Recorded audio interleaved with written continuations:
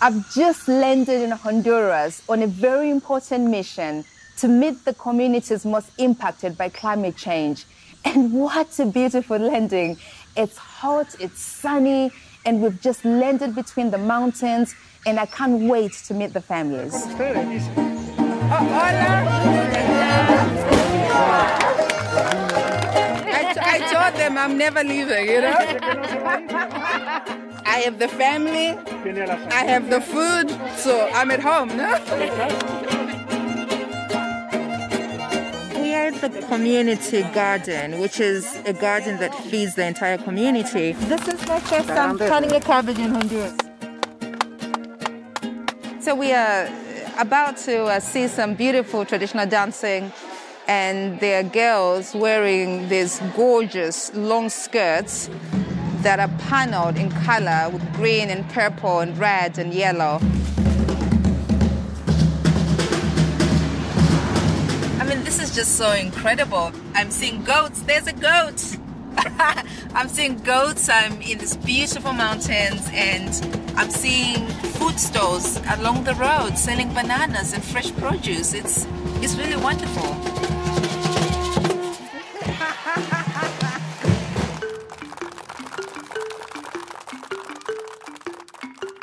Welcome to Better Food, Better World.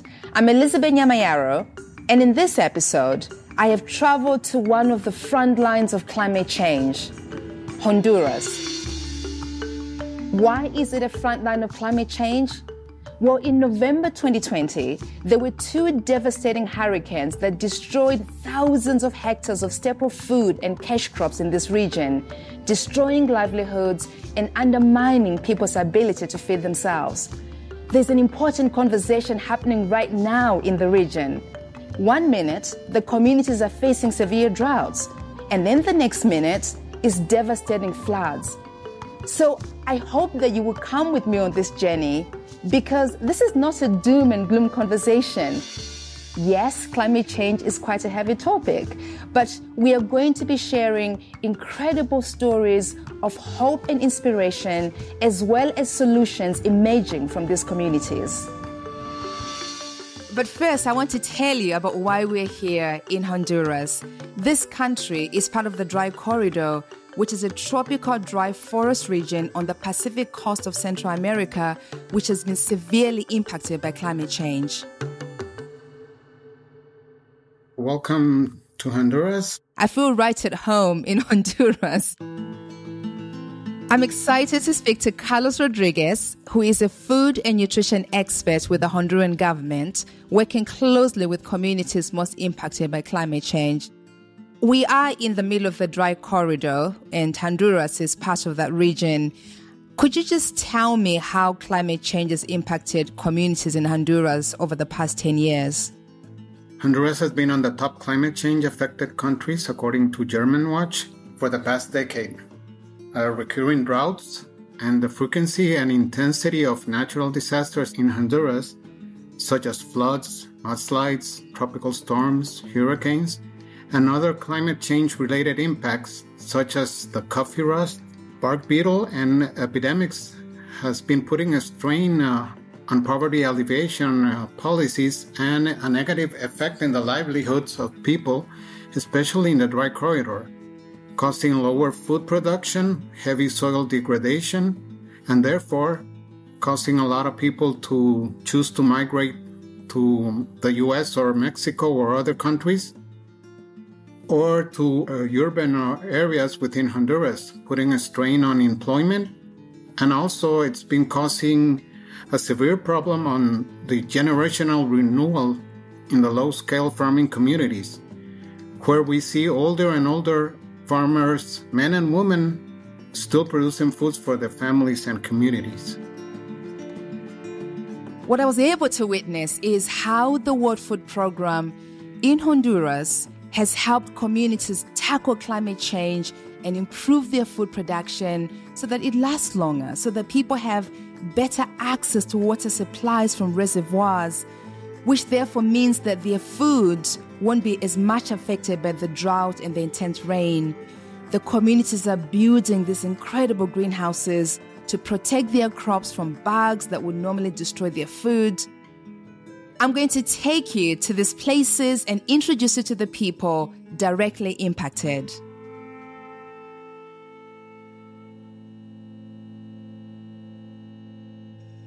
You're going to hear my voice muffled just because I'm being super careful, like everyone else in Honduras. We are in the midst of the COVID pandemic. We're all having to wear our masks. I'm also excited to introduce you to my colleague, Raul Badelas. He is a WFP program officer who's going to be translating for me. Yes, so they harvest the potato. Yeah. And they have what they call here like a Maya house. Is it like a greenhouse? Uh, some sort type of greenhouse, yeah. We are in this amazing greenhouse where they are growing potatoes, which is one of their most valuable products in this region. And they also not only use it to feed their families, but it's also a way of their livelihood because they sell the potatoes to nearby communities who are not able to produce their own food. Do I dig it or do I pull it? Sí, hay que jalarle. Hay que Okay. jalar eso. So I'm digging out a Sacar la potato. tierra cuidadosamente para los lados. Wow, this is incredible. I've literally just dug up potatoes fresh from the ground and just one stem is given me. Let's see, one, two, three, four, five, six, seven, eight. Eight potatoes.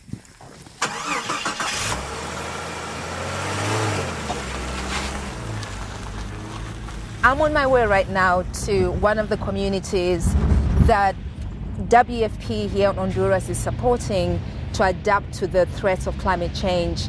And outside the car, we're in this really mountainous region, and I can see there are trees on both sides. There's also vegetable markets along the road, some kids playing in one of the yards. And sitting next to me is a very important man who I'm excited to speak to. His name is Etienne, and he is our deputy country director for the World Food Program here in Honduras. And I'm excited to learn from him what they are doing. So, Etienne, it's so lovely to be here with you, and thank you for having me in your country. It's a pleasure to have you, Elizabeth.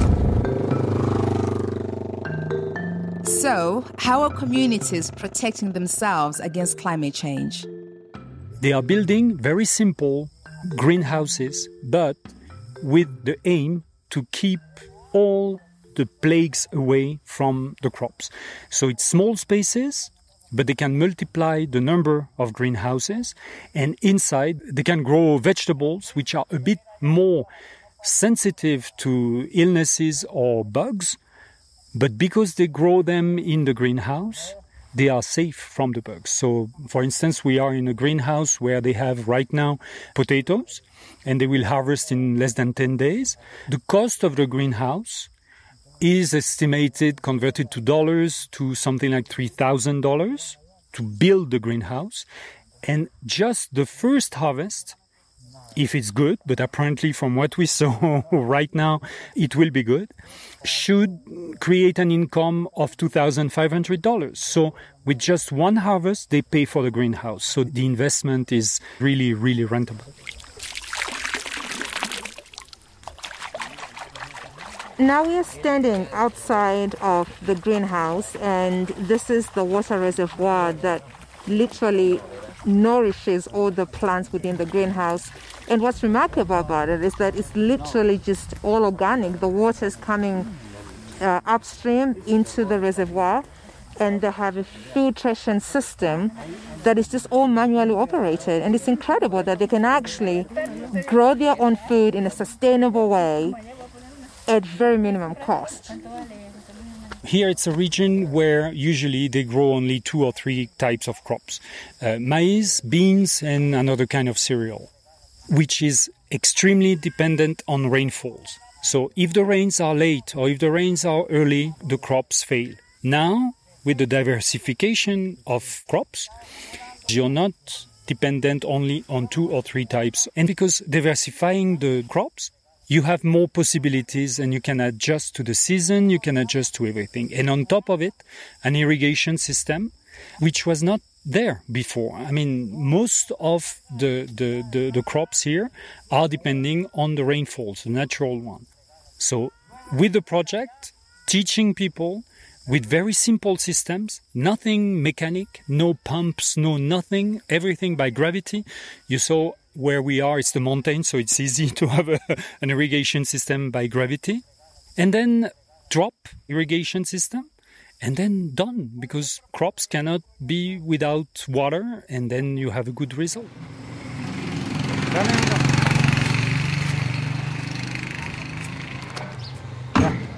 Así todos contribuimos. Raul, we should hold one for her and then we should work together, me and her with her.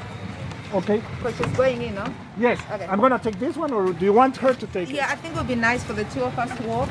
Ah, ok. Ah, que vaya usted con él, dice, para que las puedan tomar. Yes. So we can go, go to the market. We are at a farmer's market. I'm speaking to Edith Sanchez, who's one of the community leaders, and she has brought in their vegetables that they farm as part of a community to the market to sell them. And I'm talking to her about the devastating impact of climate change onto a community. Bueno, cuando, cuando yo hablo de cambio climático es... mm, Before they were growing their crops in May. Right now they are not doing it that way because now with the climate change they don't know what is going to happen and when it's going to rain. Right now, for example, they are starting to grow their crops in April. Sometimes all the growing of their crops has been delayed because it's not like years before because they knew when it was going to rain they could get prepared they knew when winter was coming they know when summer was coming and now they have to be analyzing based on all these changes when it's going to rain when it's not to know when they have to grow their Ese es crops el análisis que nosotros tenemos del cambio climático mm. y entonces montaña. It's their livelihood as well, which is why we're at a market selling the produce that they've created so that they can send their children to school and buy other things that they may need and buy the next crops for themselves as well. So it's such an important aspect of food systems, right? That it is a system. It's not just about producing the food, but it's also making sure that once you produce the food, you can actually bring it to a place where you can sell it. And this is what Iris is doing today. And I'm just so incredibly proud of her and the community and inspired to be part of this. And it's just wonderful to see, you know, how people are resilient against all odds.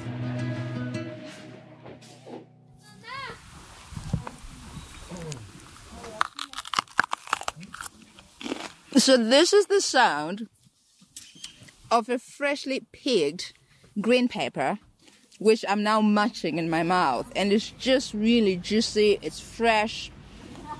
It's the best pepper I've ever eaten. So we have traveled about an hour from the market where with Iris, and we are now in her Maya Casa, Casa Maya, which is a greenhouse where they are growing the green peppers that we saw at the market. And I'm actually there helping them harvest. And you're gonna hear a sound of a clip, and it's actually the scissors cutting the pepper off its vine. Mm. Ahí está la canasta.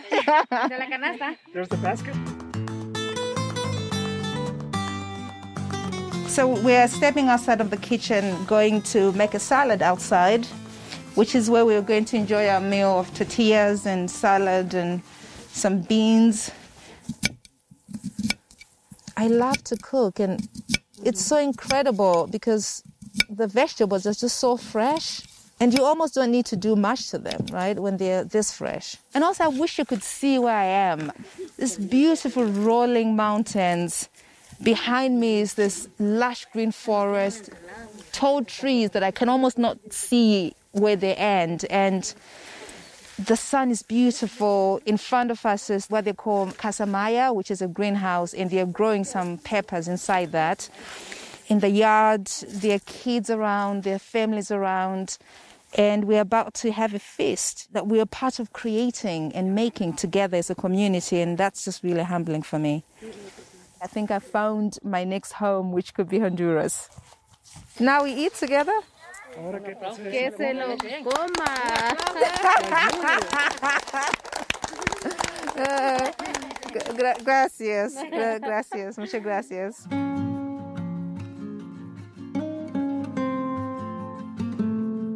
Mi nombre es Gloria Daneisi Cruz López, soy la presidenta del grupo PMA en la comunidad de Santa Cruz. This is Gloria Lopez. She is a community leader for farmers and helping them push forward with innovation and new techniques to improve their food production. Gloria, how worried are you about climate change and how has it impacted your community? El cambio climático, sinceramente, cuando llegó el programa, with all this climate change and, and primarily with hurricanes Eta and Iota that came last week, they lost all their crops.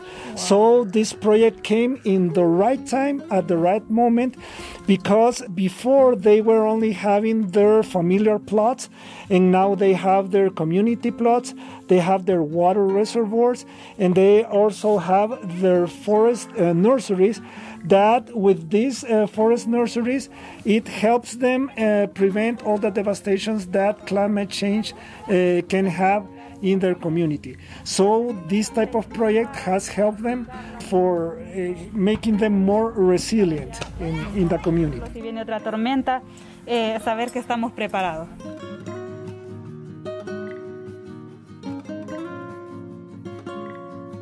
Others in the community have been affected by climate change as well, such as Gabriel Gomez, a man in his 70s who's gone through so much, and yet he still has a smile across his face. He told me what happened to him. Nada era eso.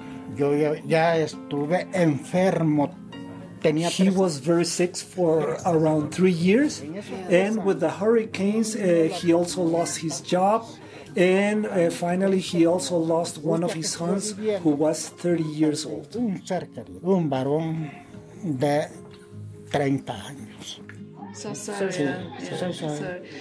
And, and so, how concerned are you um, if there's going to be another drought or another other floods?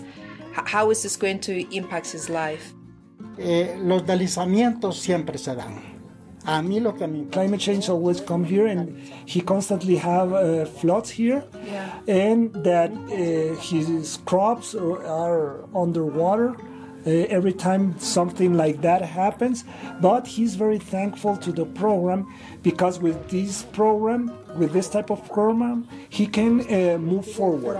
En desgracia cuando el programa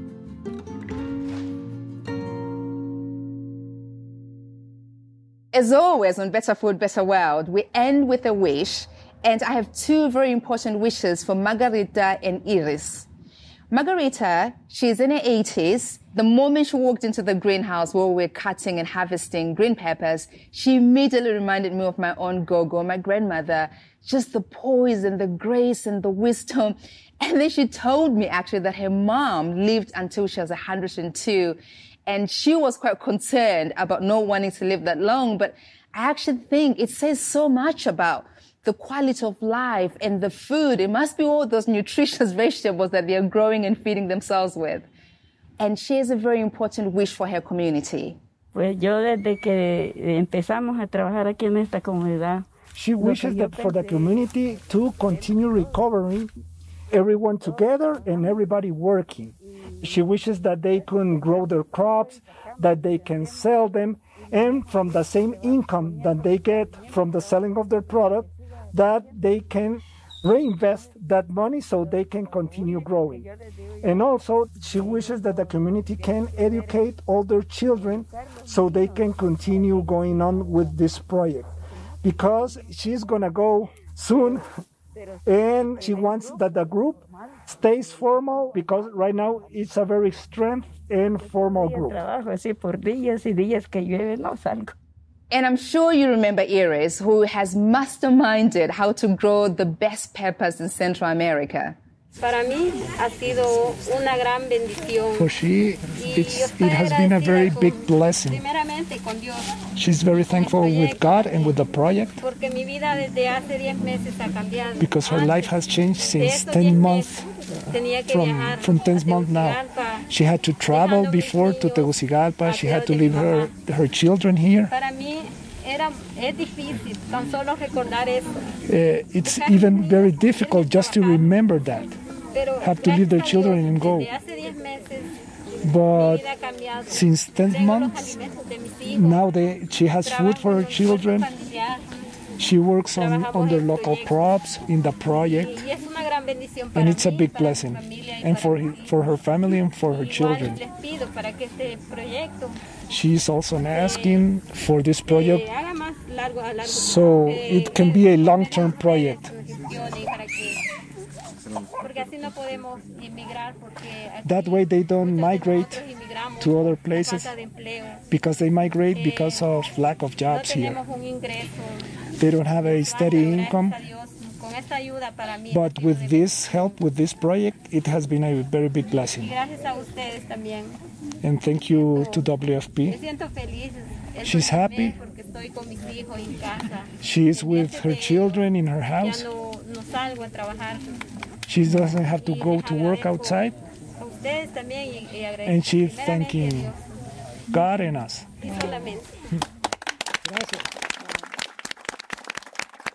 So it is such an honor for me to be here today Entonces es un gran honor para ella estar aquí, to hear your stories, escuchar sus historias, to see your humanity, de ver toda la humanidad and I feel at home. Y ella se siente como en casa aquí con ustedes. So thank you so much for sharing your stories with me. Así que muchas gracias por compartir sus historias con ella.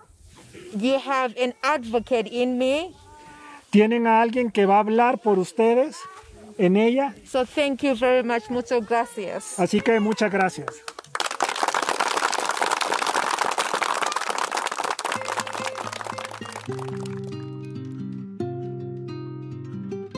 As an internal optimist, I actually think that despite the challenges that the region is facing, Honduras has the potential to lead on solutions to address climate change. People in this country have already made a difference, and I think we can all learn from their accomplishments. Let's go back to Carlos, our food security expert. You've been working with your communities. How have you raised awareness of climate change?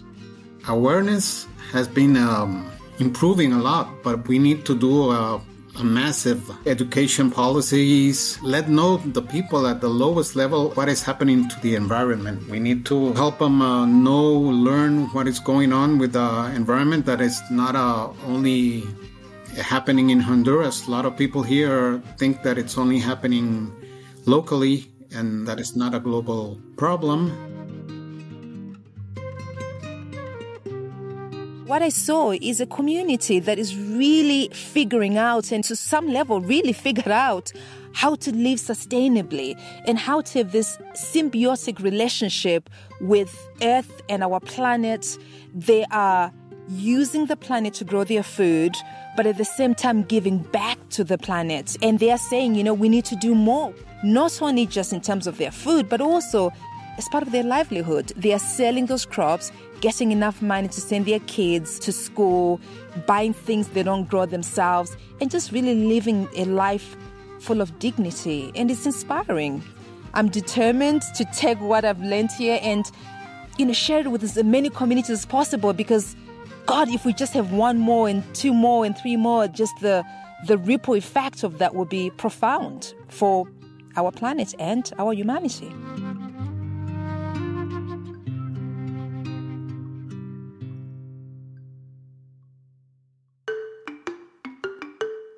Thank you for listening, and I look forward to hosting you the next time when we discuss food and war. The link between hunger and armed conflict is a vicious circle. War and conflict can cause food insecurity and hunger, just as hunger and food insecurity can cause conflicts to flare up. My wish for better food, better world is the idea that we all have to work together as a collective. And that means putting communities at the center of their development. It was just incredible seeing how much communities are doing for themselves as part of the resilience projects being supported by the World Food Program. And if you'd like to get in touch with us, and I hope you do, please do follow us using the hashtag better food, better world.